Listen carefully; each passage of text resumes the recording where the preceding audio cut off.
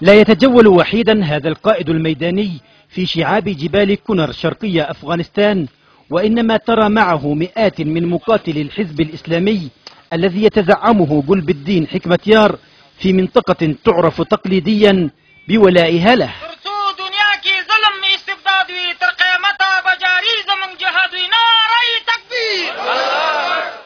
وتستشعر القيادة العسكرية لهؤلاء أنها باتت في وضع يمكنها من إرسال التحذيرات لأمريكا وحلفائها. أرى أن من الأنسب لهم أن يخرجوا من أفغانستان حتى لا يخسروا أنفسهم في أمر لا جدوى منه وأن يعودوا إلى بيوتهم وبلادهم سالمين قبل أن يولوا وهم يجرون أذيال الهزيمة. خطة هؤلاء هي مزيد من المقاتلين في مواجهة مزيد من القوات الأجنبية وفق الخطة الأمريكية الجديدة في أفغانستان.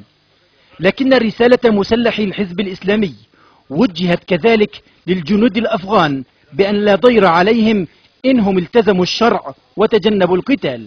وإلى المنظمات المسلحة الأخرى لا سيما طالبان هي نحن هنا.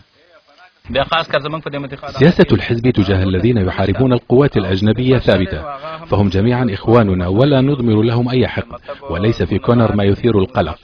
فكما تعرف أنه لا توجد منظمات أخرى هنا وكما أن الغالبية في الجنوب لطالبان فإن الغالبية في الشرق للحزب. عاد النشاط لمعاقل الحزب الإسلامي وسط جبال كونر بعد سنوات من انحسار نفوذه لحساب حركة طالبان وقد تزايدت الشائعات مؤخرا حول احتمال دخوله في صفقة مع الحكومة. المحادثات لها شروطها المنطقية ولذلك أعتقد أنه لم تحدث أي محادثات جادة بين الحزب الإسلامي والحكومة. فالسيد حكمة يار وملا محمد عمر على القائمة السوداء عند أمريكا وبذلك تكون المحادثات مستحيلة. تختلف حسابات المسلحين المنتشرين بين الجبال من مختلف التنظيمات عن حسابات المنشغلين بتوزيع الحقائب الوزارية من الساسة في كابل لكن الفئتين تترقبان ما بعد الوجود العسكري الأجنبي. شواهد كثيرة تشير إلى أن أفغانستان مقبلة على زخم عسكري وسياسي في العام 2010 ما ظهر منها بحث الناتو عن مخرج مشرف من مستنقع أفغانستان ومحاولة أطراف أفغانية ملء الفراغ بعده.